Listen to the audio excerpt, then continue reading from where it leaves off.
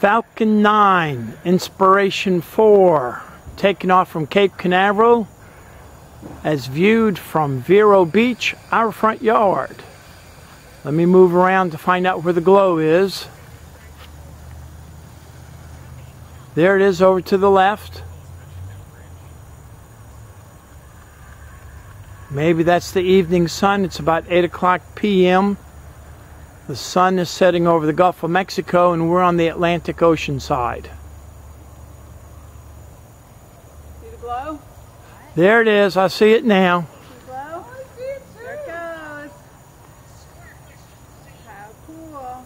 Wow. Pretty bright. There is. It's going to go behind that palm tree in a moment. Let me move over to the right some more.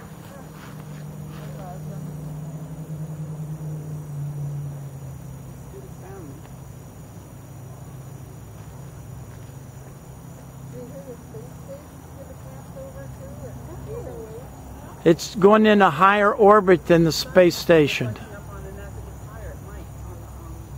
So it cleared our first palm tree in the north pasture. In a moment, I'll move left so it'll clear the second palm tree to my right.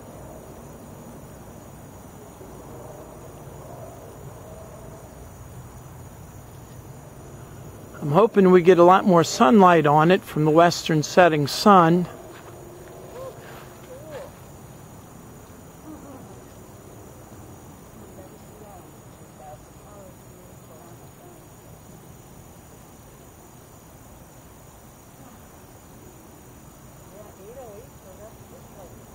Well, we should have a first stage separation pretty soon. If I sound like I know what I'm talking about, we watch these things all the time from our front yard.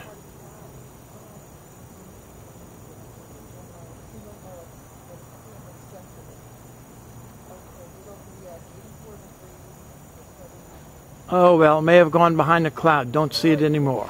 Separating now. Separating. See the glow. It's still there. See it? See, see the... Uh, camera does not see it. Oh yeah, right there in the middle of the screen. See it in the middle of the screen.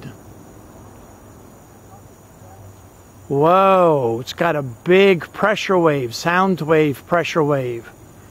I can see it with my eyes, but the camera cannot see it. Beautiful.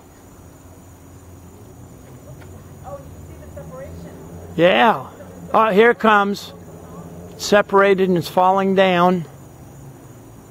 And if this is the usual routine, they're going to land that on a barge out in the Atlantic Ocean. Beautiful, beautiful.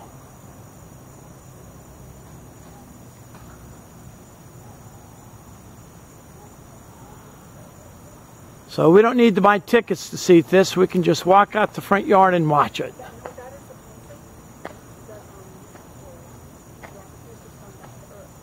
So if anybody wants to learn more about this, look up Inspiration 4 on today's date, September somewhere around the 15th, I believe. And in the camera it looks weird, but everything is normal. That's the sunlight from the western sun, screen left, that's shining on all of that vapor. Don't want to call it smoke. It's not smoke, it's vapor. Let me walk to the right to get around that palm tree. Maybe you can see it a little bit better now, the two pieces.